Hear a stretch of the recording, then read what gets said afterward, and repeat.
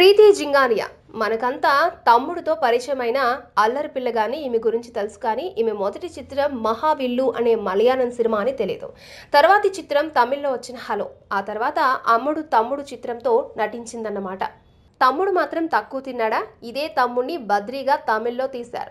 ఆ తర్వాత కన్నడలో యువరాజాగా బెంగాలీలో ఛాంపియన్ గాను మారాడు.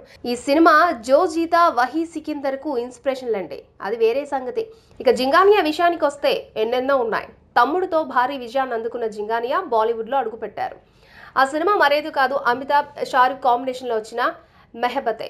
ఈ చిత్రం బాక్స్ ఆఫీస్ దగ్గర భారీ వసూళ్ళనే రాబట్టింది. తర్వాత ప్రీతి నరసింహనాయుడు అనే మరో సంచలన చిత్రంలో నటించడం నాటి తెలుగు ప్రేక్షకులకు తెలిసిందే. ఆ వెంటనే అదే ఏడాది అధిపతి అనే చిత్రంలో కూడా యాక్ట్ చేశారు. మోహన్ బాబు నాగార్జున కలిసి నటించిన ఈ చిత్రంలో ప్రీతి కూడా ఒక రోల్ ప్లే చేశారు.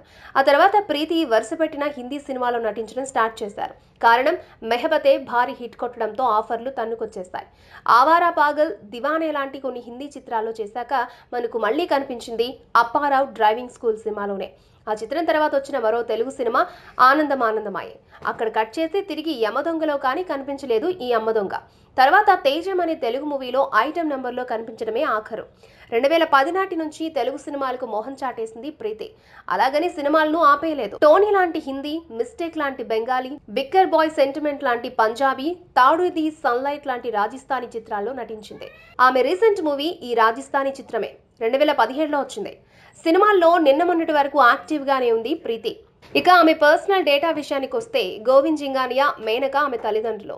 పంతొమ్మిది వందల ఎనభై ముంబైలో పుట్టిన జింగానియా రెండు వేల ఎనిమిదిలో పర్వీన్ దాబాస్ను పెళ్ళాడింది. జైవీర్ దేవ్ అనే ఇద్దరు పిల్లలున్నారు ఈ ఇద్దరు దంపతులకు. ప్రస్తుతం ముంబైలోని బాంద్రాలో నివసిస్తోంది ప్రీతి జింగానియా ఫ్యామిలీ. అవకాశాలు రావాలే కానీ తెలుగులోనూ నటించడానికి సై అంటోంది ప్రీతి.